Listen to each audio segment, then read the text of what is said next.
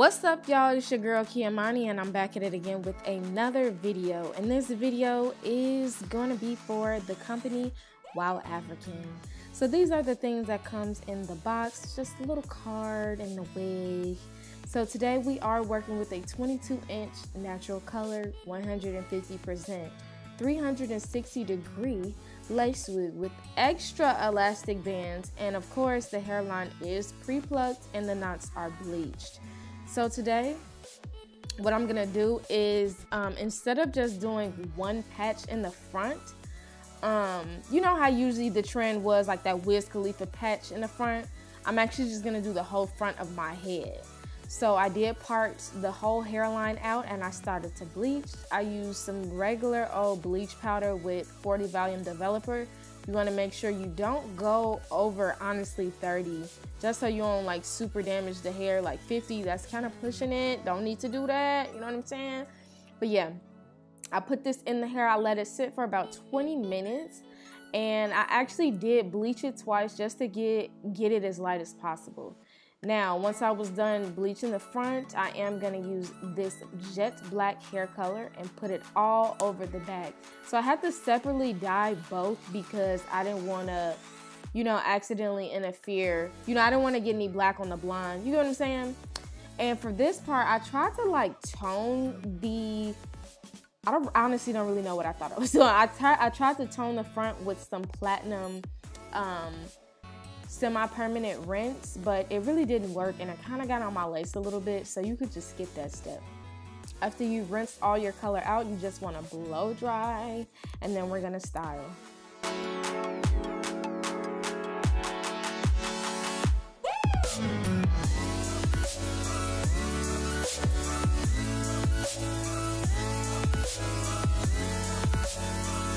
For the back, I just straightened it off camera with my um, flat iron that I always use. And I'm just to do four big curls in the front. And I'm using a one and a half inch.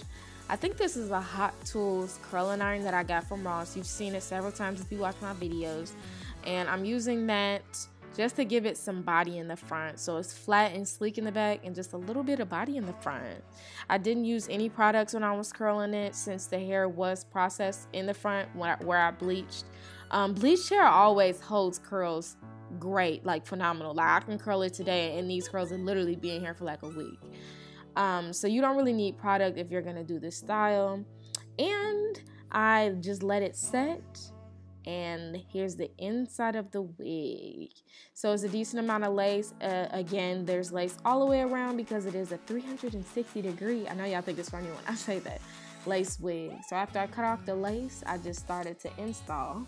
And i am trying to keep my curls in as much as possible just so they can hold and set and we can get a lot of oomph in the front. But yeah i'm just gonna use um, my Got2b and install how I install all my other wigs.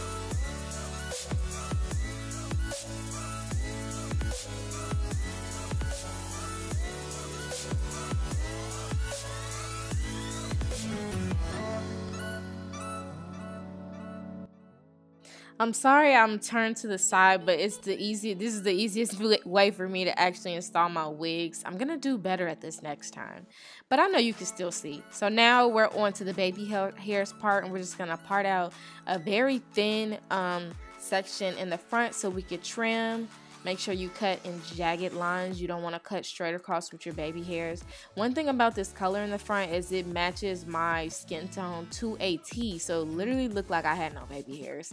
I don't really know if I like that look. but you just want to cut them and then swoop. I usually use um, Eco Styler, but you do want to be careful with a water-based gel because if you put too much or if you don't know what you're doing, it will make your wig lift and you'll be so pissed off you just laid your wig and it's starting to lift once you're at the end, which is the baby hairs. So just be mindful of that.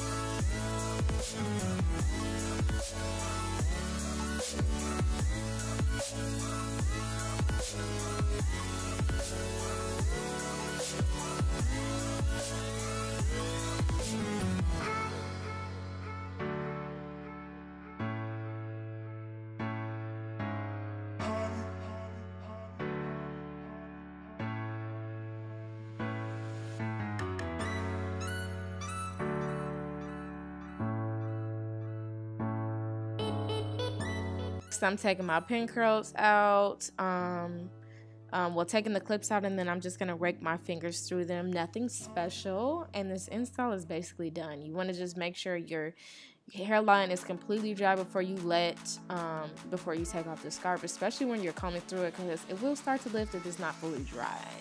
Trust me, I know. But yeah, once this is done, you are completely slayed. So if you did want to pick up this wig and try this out yourself, everything on Sis is in the description box down below. Thank you so much for watching, and I'll see you in my next video. Mwah.